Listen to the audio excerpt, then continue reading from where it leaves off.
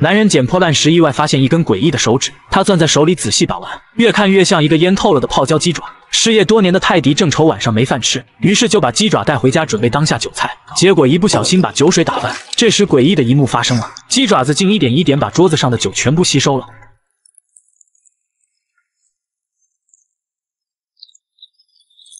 想着料酒腌入味了一定会更香，所以泰迪并没有着急吃掉，而是小心翼翼地把这性感的纤纤玉指装进盒子里，放在冰箱冷藏。可没想到第二天一起床，正准备拿出来品尝，却发现鸡爪竟凭空消失了。正当泰迪感到奇怪时，突然看到地上躺着一个可爱的小家伙，定睛一看，才发现原来鸡爪居然自己跑到地板上晒起了太阳。只是一晚上的时间，它就多长出了一根手指。泰迪强忍着口水伸手触摸，小鸡爪居然还会有所回应。